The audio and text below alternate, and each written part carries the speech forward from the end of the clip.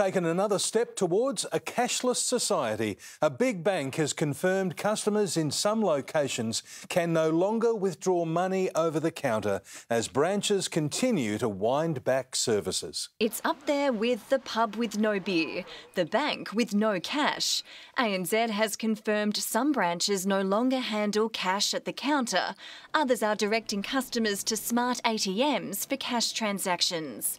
ANZ says only 8% of its customers rely solely on branches. The number of bank branches nationally dropped 30% in major cities over five years, from more than 3,000 to around 2,300. It's a worldwide trend, and there are concerns it hurts disadvantaged customers the most. The latest figures on ATMs shows the number of machines has more than halved from almost 14,000 back in 2017 to around around 6,000 in the middle of last year. It's going to have a bigger impact than a lot of people realise.